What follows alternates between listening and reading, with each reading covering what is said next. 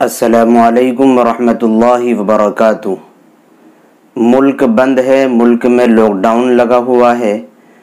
اس بیچ میں آپ حضرات کی جانب سے ایک سوال یہ کیا جانے لگا ہے کہ اس مرتبہ جمعۃ الوداع، الوداعی جمعہ ہمیں کس طریقے پر پڑھنا ہوگا؟ رمضان المبارک کے اس مقدس جمعے کو ہم ہر سال مسجد میں پڑھتے تھے، اب اس جمعے کو ہم کیسے پڑھیں گے؟ لوگ اس طریقے کا سوال کر رہے ہیں۔ تو سب سے پہلی بات میں ان کے لیے کلیئر کر دوں کہ الوداعی جمعہ کا یا جمعۃ الوداع کا مطلب کیا ہوتا ہے۔ وداع کا اور الوداع کا مطلب ہوتا ہے کہ آخری رخصت ہونے والا، وداع کرنے والا رمضان المبارک کا آخری جمعہ۔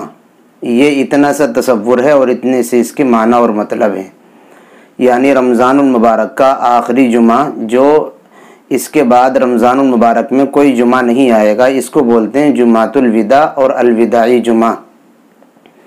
اس سے زیادہ اسلام میں اس کا کوئی تصور نہیں، نہ کوئی یہ جشن کی چیز ہے، نہ تہوار کی چیز ہے، اور نہ ہی اس کی احادیث میں اس سے زیادہ کوئی فضیلت بیان فرمائی گئی ہے۔ اور نہ ہی اس کے لیے کوئی مستقل طور پر اس جمعے کے لیے الگ سے کوئی احکامات بیان کیے گئے ہیں۔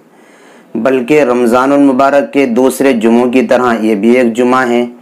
اس معنی کر فضیلت اور اہمیت کی چیز تو یہ ہو سکتا ہے کہ رمضان المبارک بال کا بالکل اخیر حصہ چل رہا ہے اور مقدس وقت گزر رہا ہے اور رمضان المبارک کا یہ آخری جمعہ ہے۔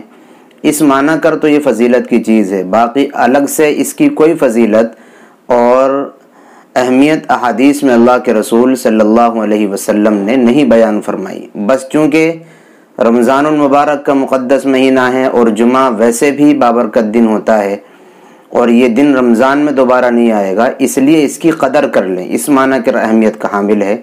باقی جمعہ الوداع کیسے پڑھنا ہے؟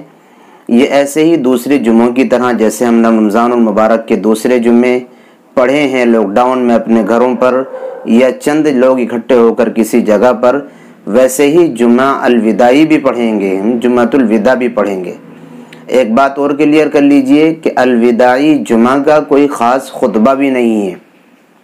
کوئی بھی خطبہ جمعہ وداع میں پڑھ لیا جائے تو نماز اس سے صحیح ہو جائے گی۔ اور وہ جو الوداع الوداع والا خطبہ چلتا ہے اور مساجد میں لوگ پڑھتے ہیں، وہ ثابت بھی نہیں ہے۔ اور احادیث میں اس کا تذکرہ بھی نہیں ہے۔ لوگوں نے اپنی جانب سے اس اس کو بنا لیا ہے، لہذا اس کا بھی التظام نہ کریں، اس کے چکر میں نہ پڑھیں جس خطبے سے آپ نے بقیہ جمعے پڑھے ہیں، اسی خطبے سے یہ جمعہ پڑھ لیجیے۔ ایسے ہی جس طریقے پر بقیہ جمعے آپ نے پڑھے ہیں۔ باقی اس سے زیادہ الوداعی جمعے میں اور کوئی بات نہیں۔